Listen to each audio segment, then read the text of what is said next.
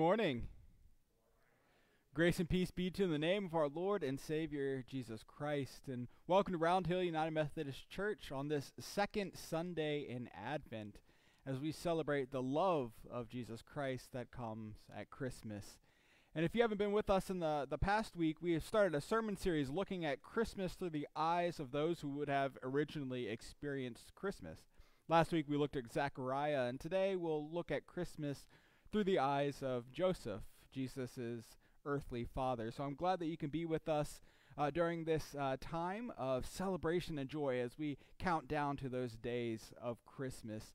If you're worshiping with us online, uh, there's some ways that you can still continue to be connected with us, even though you may be uh, all over uh, the nation or wherever you may be.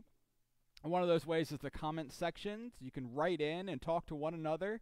This is uh, particularly important later in the service where we lift up our joys and our concerns.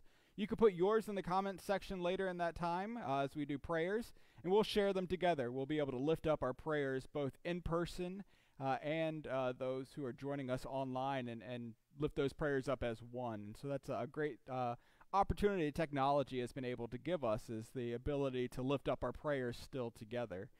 Uh, also, there's a like and a love button that you can hit anytime during the service, and it just allows you to to praise in your own way, even from home, like a amen or alleluia. And if you're here in person, feel free to do that uh, however feels comfortable to you. If you want to do an amen, alleluia, go ahead and do it. Uh, if you are more reserved and just want to bow your head or, or do something like that, that helps you connect to God. All of it is welcomed as we uh, celebrate and worship this day. But at this time, as we continue in this anticipation of Christmas, we do so with a, a, tradition that we have been doing for many years, not just at this church, but as a uh, Christian tradition, and that is the lighting of the Advent candles. Last week we lit the candle of hope, and this week we will light the candle of love. And so I invite those who are uh, lighting the candles and doing the readings to come forward as we prepare ourselves for this time of worship.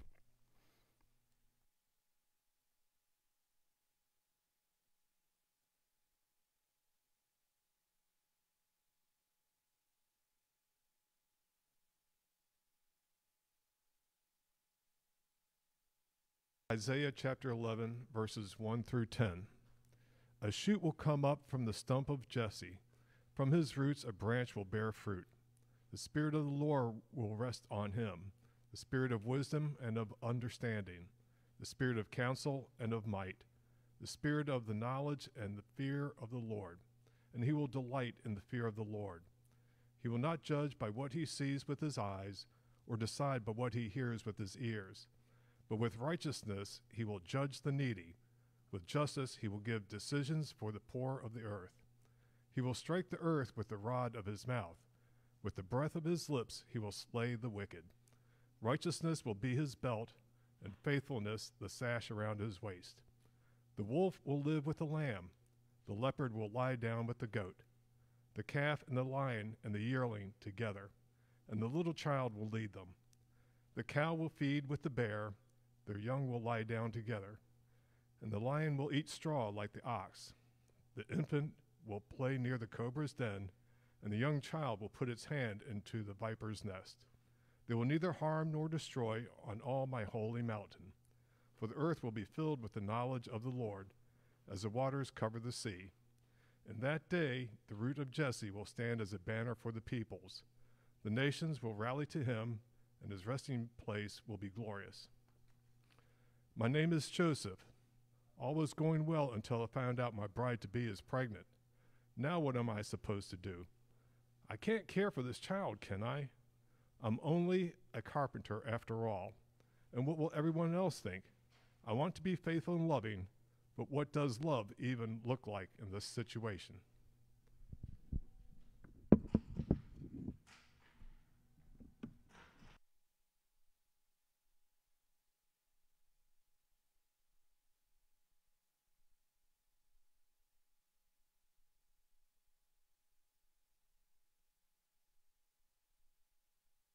Thank you so much.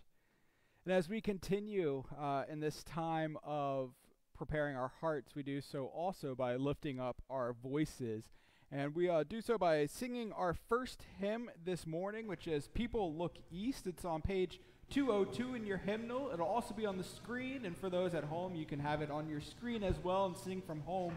But I invite you to stand as you are able and let us sing page 202 People Look East.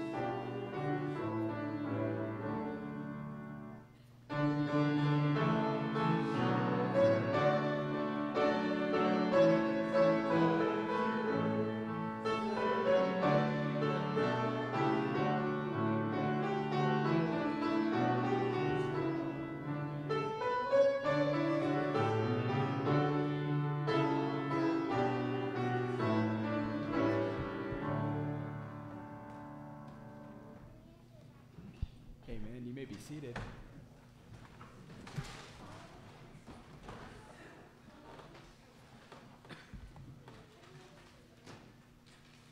As I mentioned, our scripture reader reading is about the go- is about Joseph this morning, and we find that in the Gospel of Matthew, beginning on verse 18 and going through verse 25. Now, the birth of Jesus the Messiah took place this way.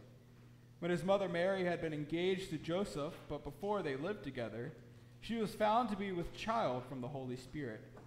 Her husband Joseph, being a righteous man and unwilling to expose her to public disgrace, planned to dismiss her quietly. But just when he had resolved to do this, an angel of the Lord appeared to him in a dream and said, Joseph, son of David, do not be afraid to take Mary as your wife for the child conceived in her is from the Holy Spirit.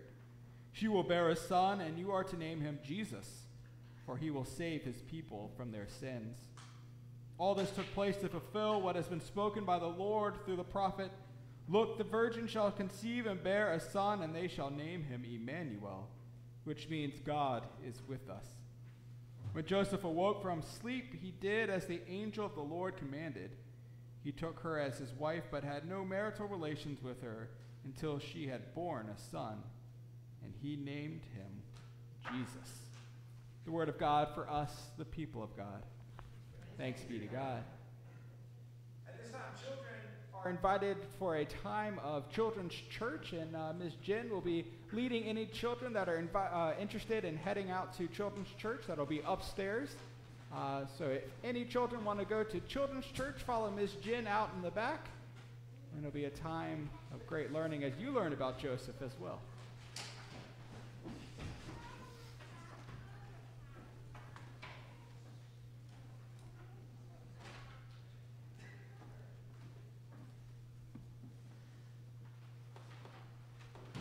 Amen. What a joy to see. Will you join me in a time of prayer?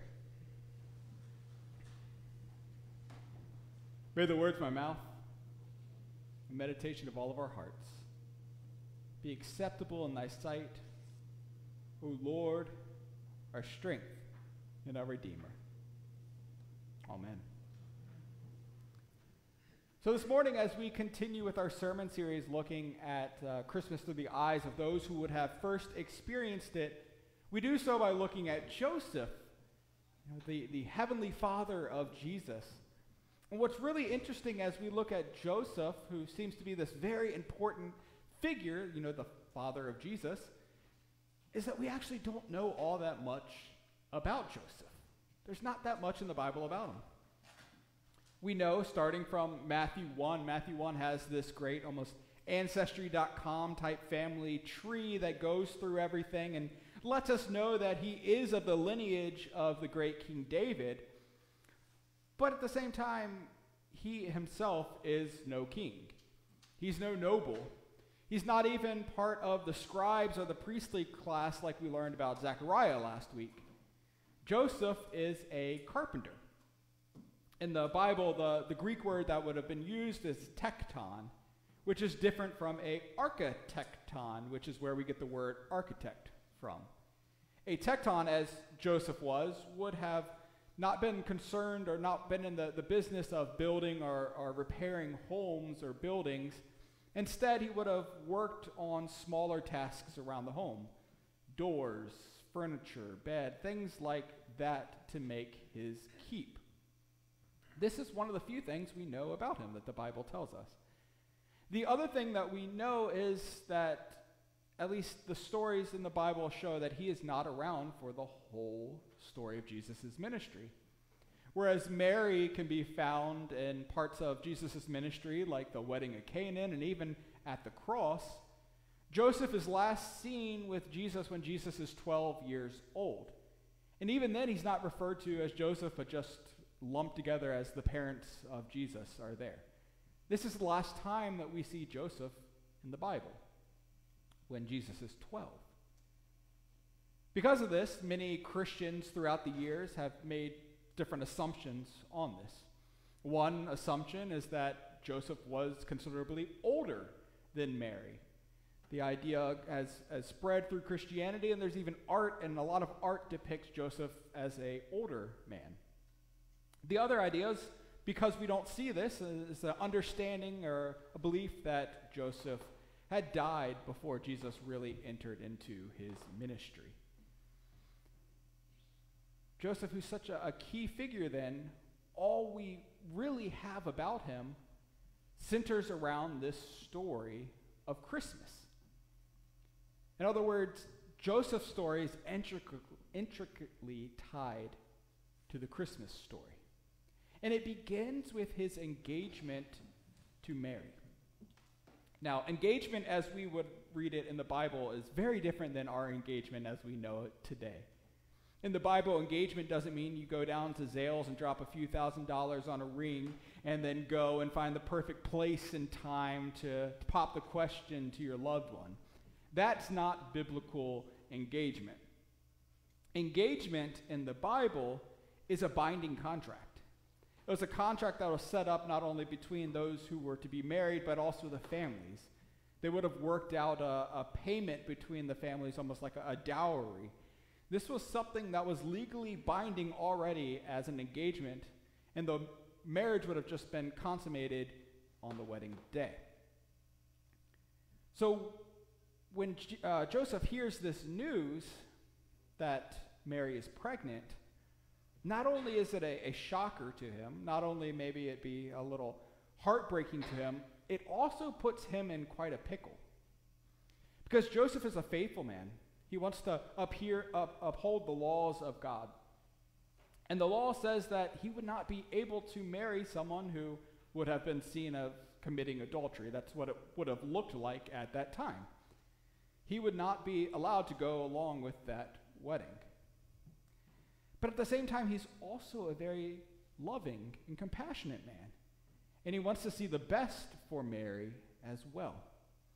And this kind of, we can tell, tears at him until he makes this decision to, to not publicly announce his divorce, but to do it in secret. At least giving Mary a shot. If Mary was publicly announced for her divorce and then this all came out to the front, not only would she not ever be able to marry again, She would probably struggle to, to provide for herself, and that's at best. At worst, she could have been beaten or killed. And so he tries to give her a fighting chance, not putting her out for that public disgrace, but divorcing her quietly. At least that's what he makes his mind up to do. That is until an angel comes to Joseph. Now, I don't know if it's our same favorite friend Gabe that comes to him that we, we see all the time in this Christmas story, or if it's just another one of the angels. But this angel comes to Joseph in a dream. And he tells Joseph everything that has happened and explains that he is to raise this as his son, as Jesus, which means God will save. That people will call him Emmanuel, God with us. And what's remarkable about this story is that when Joseph wakes up from this dream, hearing this message, unlike Zechariah, who questions and says, How is this possible? Even Mary, who ponders it and questions, Zechariah, Joseph wakes up and does exactly as the angel told him. He does exactly what the angel told him. He takes Mary to be his wife, and he becomes a faithful father to Jesus. In doing so, Joseph puts all of the risk and responsibility and liability then on himself. Now, if all of this became public, he would be implicated in it too. He would have his life ruined as well. And yet he has taken this risk for Mary, for Jesus, for God. We see the faithfulness in his life. We see that when a census comes and says that everybody has to go back to their hometown and be registered, he packs up his things, helps his pregnant wife along on this tough journey to Bethlehem. When there's no room at the inn, we imagine him fighting for whatever he can for his wife who is about to deliver, and at least finding some comfort and being able to deliver in a warm stable even later, as Jesus is just a young child and they are at risk, he packs up everything again and finds refuge in a foreign country, in Egypt. Assumingly, leaving everything he knew behind, all of his jobs, and picking that back up in this foreign country, just trying to make ends meet for his family. Joseph's story may not be the, the most widely uh, written about story in the Bible, but it is extraordinary nonetheless. I mean, Mary is often lifted up as the, the dutiful, the, the wonderful, obedient servant, and she should be. We'll talk about her in a few weeks. But we shouldn't overlook Joseph in his faithfulness and love either. Like I said, he risked everything, risked his whole livelihood on what God had told him. He risked it for Jesus, risked it for Mary, risked it for God. And it's amazing to think why would he do this? Why would he make this risk and sacrifice when he had already considered and thought through a way out? And maybe it's because what the angel tells him is a, a news that is so good, a story that is so compelling, that he would rather be part of it than not. That he would rather risk himself to be part of that story than to not be part of it. That the good news is so good, this, this news that will come in the form of this child that he will raise, who will be called Jesus, the one who will save God's salvation the one who will be called Emmanuel, God with us, that this news is the news of everything that he has ever desired salvation from God and a love from God who is now with us. This was worth risking for. And this news was not just coming to the kings or the nobles. It wasn't coming to the, the learned or the super holy in the priestly class. It was coming to an average Joe like himself. And that was compelling. It was compelling that God's love and salvation would come for someone like him. Like him. It's this same story that has compelled Christians throughout the centuries to also take on that love and that risk, to step beyond their, their comfort zones and to do things that they never thought they would be able to do because they are so drawn into the love and the salvation that has been offered for them. It's how we see stories like St. Francis, who, who renounces his wealth in order to go and care for the poor. It's how we see Mother Teresa risking herself of diseases and sickness to care for those in the areas around her, the most vulnerable. It's the same dream that Martin Luther King caught on to that allowed him to stand up to injustice in our country. It's this love, this passion, this salvation that is offered for us all that is so compelling that they would rather be part of it and risk than be safe and not be part of it. This morning, as we hear this story, as we hear the Joseph story and all that it means not only to him, are we also compelled by what it means for us? Are we drawn into the story in the same way? Do we recognize that the story speaks to us in the same way that you have been offered salvation? You have been offered salvation. That God's love has come to this world for you. And that this news is so good that it's better to be part of it and risk than to not be part of it at all. To step beyond our boundaries of comfort and love than to not dive in to this good news. But sometimes we're afraid to step out of these boundaries, step out of these comfort zones. And the good news does push us past our comfort zones that we have. And the reason it does that is because we have become too comfortable with things that are not what God would desire for us. We've become too comfortable trying to save ourselves, saying that we can do it all, we can take it all on our shoulders when we cannot do it. We've, be, we've become too comfortable with a world that is hurting and suffering. And Jesus calls us past that. Jesus calls us to step out and to join into this amazing call where God has come to earth to show us love and offer salvation and to invite us to be part of it. This morning, how are you being compelled by the Christmas story? How is it speaking to you more than just uh, an annual sentimental feeling, but a, a story that pushes you beyond your comfort zones to share the good news, to live the good news, to live that love that we light the candle for? Because the story itself is worth it. It's so worth it. Amen. This time, as we reflect upon these words, we can do so by singing our next hymn, which is Once in Royal David's City, as we remember the lineage of Joseph and David. And this is, this is on page 250 in our hymnal.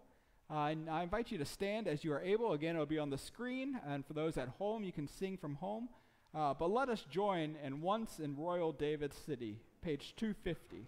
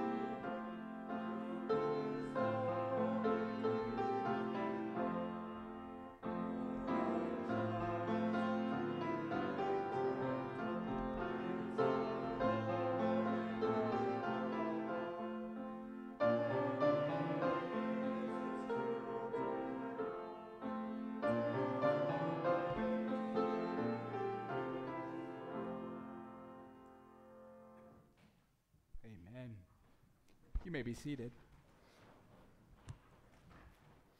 At this time, we offer up our joys and concerns in a time of prayer, taking them to God. And if you are online, you can begin to send uh, those uh, prayer requests in through the comments section, and we will uh, share those in just a moment. But we'll begin with those who are here in person. Are there any joys or concerns that we would like to lift up for prayer this morning?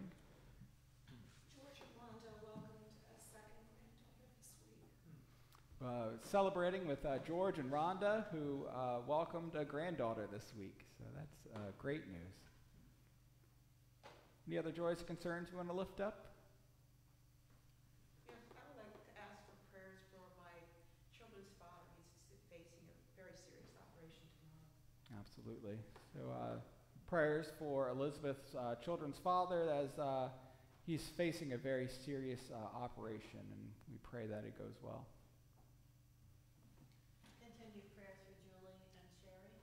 Prayers for Julie and Sherry. Absolutely.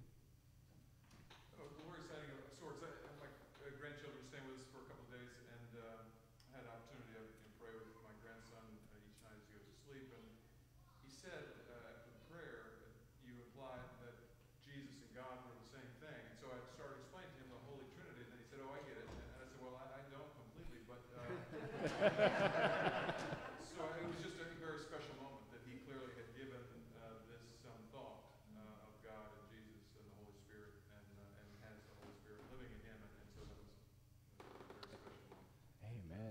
getting to have conversations with uh, children and grandchildren about God and learning from them as they teach us things. That is a, a joy for sure.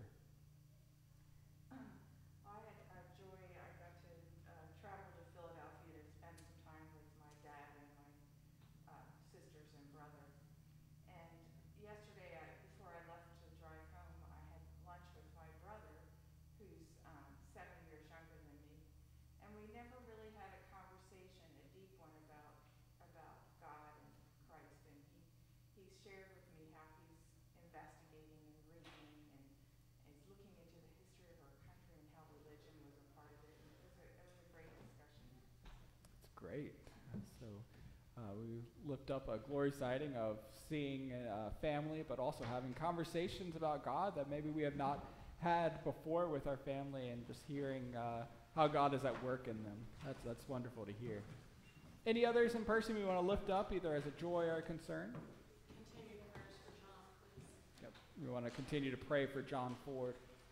And keep him in our prayers. Any others in person? If not, I will go to our uh, congregation who is joining us online. Uh, we want to look at those uh, prayers. Prayers for Sydney Murray, who broke her foot. So we want to keep Sydney in our prayers. Uh, prayers for all the college students during exams, uh, and then for their travels home. Absolutely. Uh, praying for all those who are struggling with mental health, and that they may find the resources uh, that, need, that they need that provide that support. Uh, prayers for all those uh, suffering for whatever reason. Uh, may God embrace them and see them through their difficult times. Uh, the joy of being able to be together and enjoy holiday traditions. that is a joy indeed. And we have a prayer for Glenda's niece's daughter, Tyler who is experiencing acute migraines while beginning college exams, and uh, that would certainly be difficult. Uh, so we lift that uh, prayer up. Any other prayers in person or online that we would like to lift up this morning?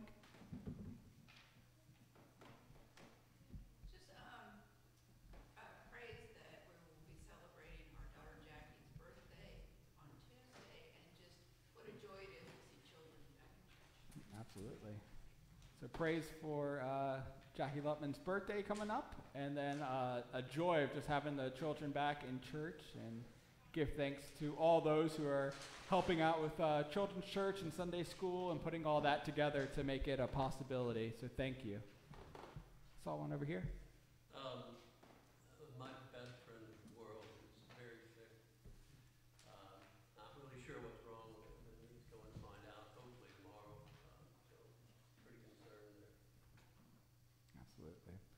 Want to lift up uh, Chris Everett's uh, best friend who is sick and not really sure why. So we pray for not only health but for a, a diagnosis for what is what is going on, and we'll keep him in our prayers. Any others? If not, then let us go to the Lord in a time of prayer. Almighty God, we give you thanks for this love in which you pour out upon us daily. A love that sometimes we do not feel worthy of, and yet you deem us to be worthy because we are the works of your hands. You have come to show that love to each and every one of us, as we have heard through the story of Joseph. And so we pray for that love and compassion and healing upon so many that we have lifted up today for those battling cancer, heart disease, diabetes, dementia, and Alzheimer's, for those who do not know what is ailing them, for those who have lost loved ones. Lord, have your arms around them that they may experience your love, your presence with them in these hard and trying times. We give you thanks for birthdays, for celebrations, for those children back in our midst here in the sanctuary. And we give you thanks for all those joys. We pray that you are with those who are going through so much stress, uh, particularly at this time of year. For those college students finishing up or beginning exams, we pray for all those who do not find the, the holidays to be a, a time of of peace or a time of of warmth, but one that is a time of pain, reminding them of what has been lost. Help them to experience your love through those around them, even in these difficult times. And Lord, we pray for our world. We pray for all those who are suffering, both here in our community and worldwide. And we pray that you may guide us through the power of your Holy Spirit to, to work to help those who are in need, that we may show your love and be your hands and feet in the world. And this we pray in the name of your Son, Jesus Christ our Lord. Amen.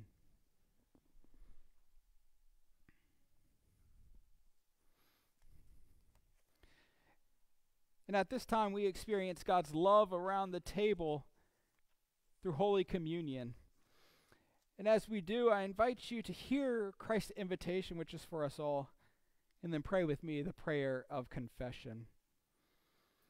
Christ our Lord invites to his table all who love him, who earnestly repent of their sin, and who seek to live in peace with one another. Therefore, let us confess our sin before God and one another.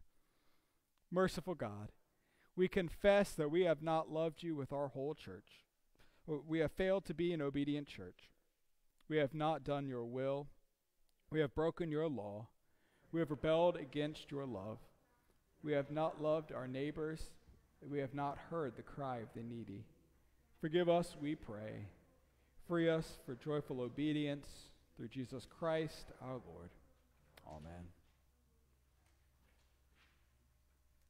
Hear the good news. Christ died for us while we were yet sinners and that proves God's love towards us. In the name of Jesus Christ, you are forgiven.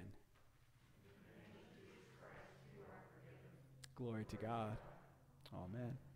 At this time, I invite us to share the peace and love of Christ with one another. If you're worshiping with us online, you can do so through the comment section of sharing love with each other.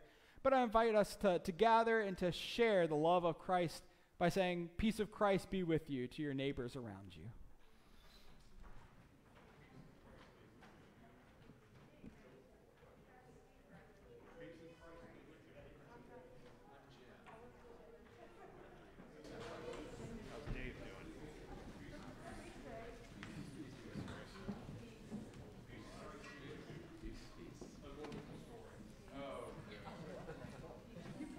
meant to tell.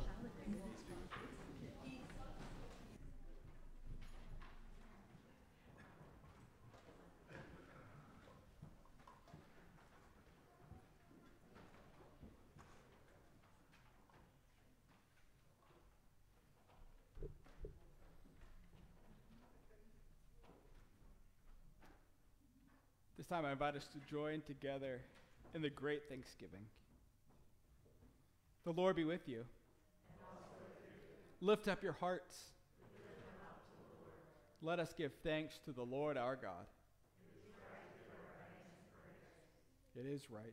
And a good and joyful thing always and everywhere to give thanks to you, Father, Almighty, Creator of heaven and earth. You formed us in your image, and you breathed into us the breath of life. When we turned away and our love failed, your love remained steadfast. You delivered us from captivity. You made a covenant to be our sovereign God, and you spoke to us through your prophets. And so, with your people on earth and all the company of heaven, we praise your name and join their unending hymn. Holy, holy, holy Lord, God of power and might, heaven and earth are full of your glory. Hosanna in the highest. Blessed is he who comes in the name of the Lord. Hosanna in the highest. Holy are you, and blessed is your Son, Jesus Christ. Your Spirit anointed him to preach good news to the poor, to proclaim release to the captives and recovery of sight to the blind, to set at liberty those who are oppressed, and to announce the time that had come when you would save your people. He healed the sick, he fed the hungry, he ate with sinners. By the baptism of his suffering, death, and resurrection, you gave birth to your church. You delivered us from slavery to sin and death, and you made with us a new covenant by water and the Spirit. When the Lord Jesus ascended, he promised to be with us always by the power of your word and Holy Spirit. And on the night in which he gave himself up for us, he took bread, gave thanks to you, gave it to his disciples, and said, Take, eat. This is my body, which is given for you. Do this in remembrance of me.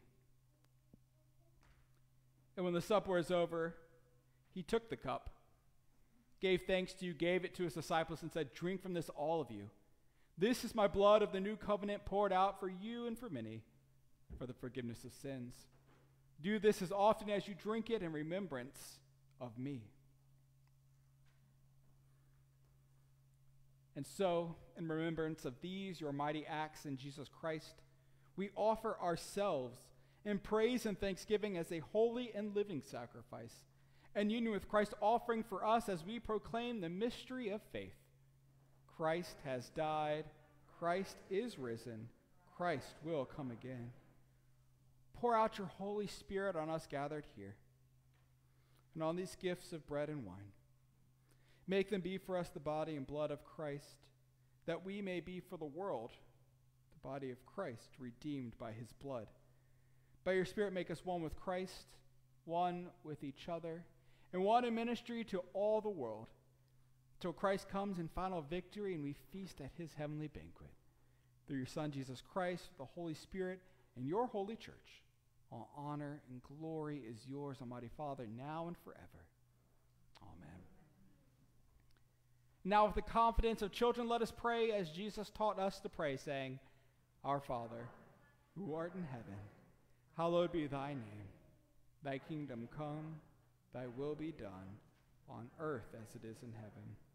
Give us this day our daily bread, and forgive us our trespasses, as we forgive those who trespass against us.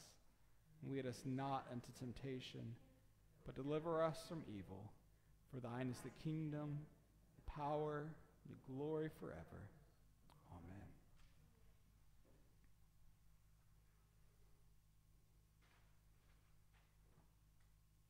Body of Christ is given for you.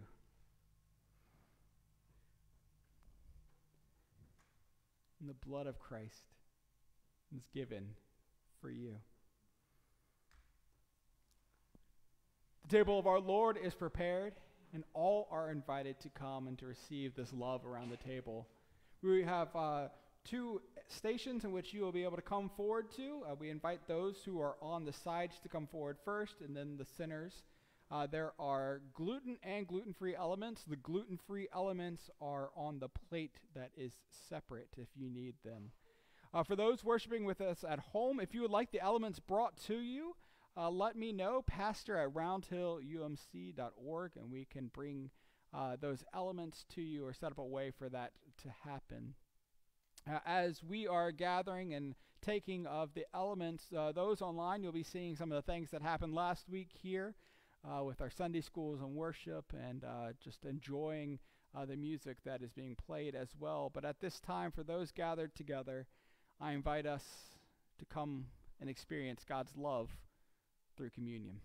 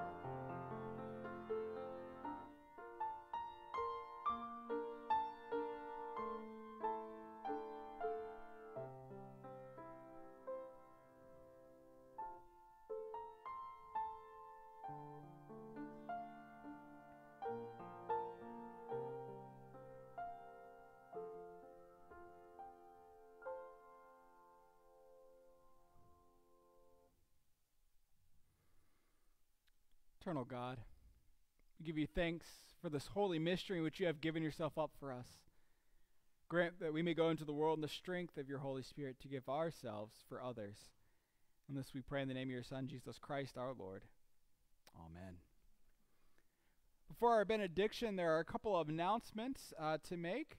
Uh, first is that uh, there is going to be the uh, Grinchmas house decorating later today at 1 o'clock, uh, and that is going to be a wonderful time of gathering and decorating and having fun. Uh, so that's here at 1 o'clock uh, later this afternoon, so just a reminder about that.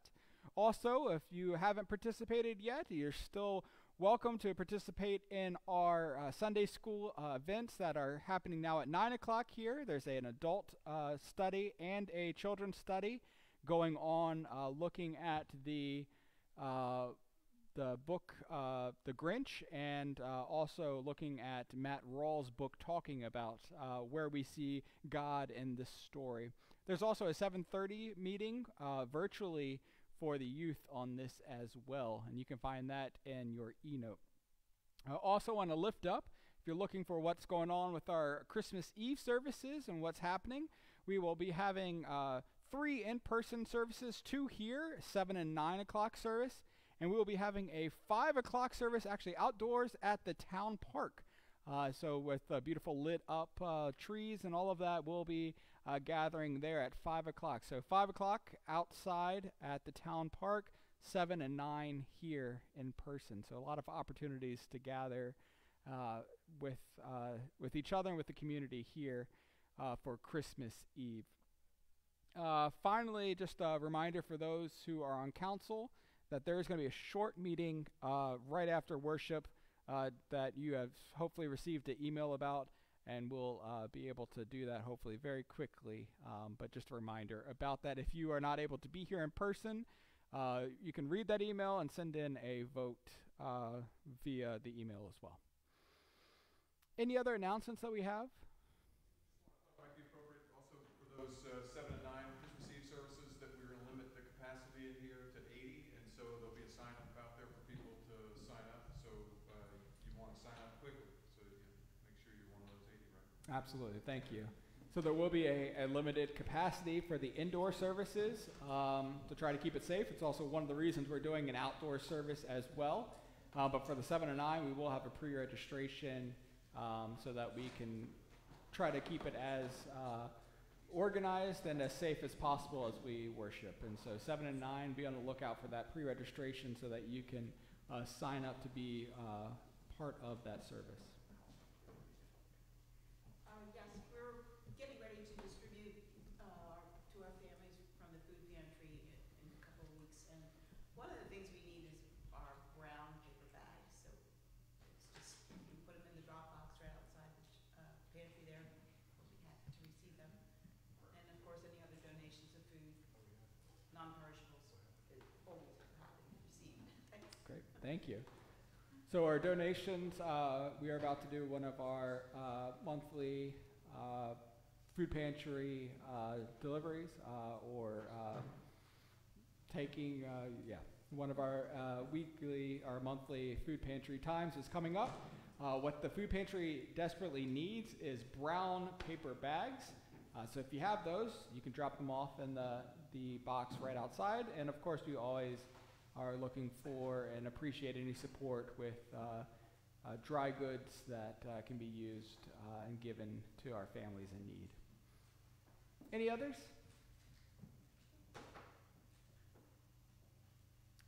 If not, then I invite you to go forth into the world, knowing that Christ has come, Jesus has come, Emmanuel has come for you for you and for me. And that is a story and a love so compelling that it's worth risking our own selves for. Step beyond our boundaries and share that love to each and every person we meet today. So go forth and name the Father, the Son, and the Holy Spirit. Amen.